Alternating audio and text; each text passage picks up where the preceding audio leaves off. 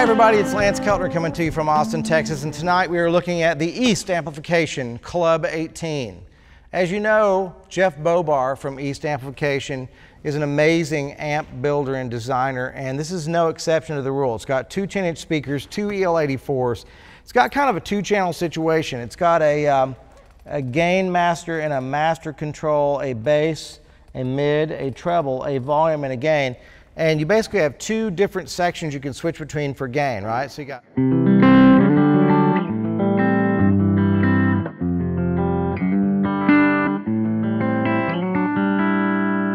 I like that. So you can switch to the higher gain mode, right?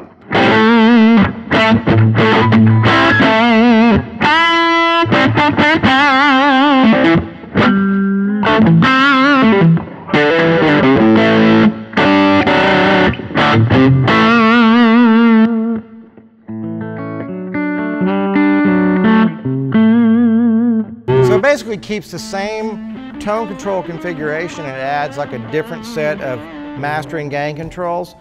Jeff's really good at making something simplistic that sounds amazing. And this amp is no exception. I really love it.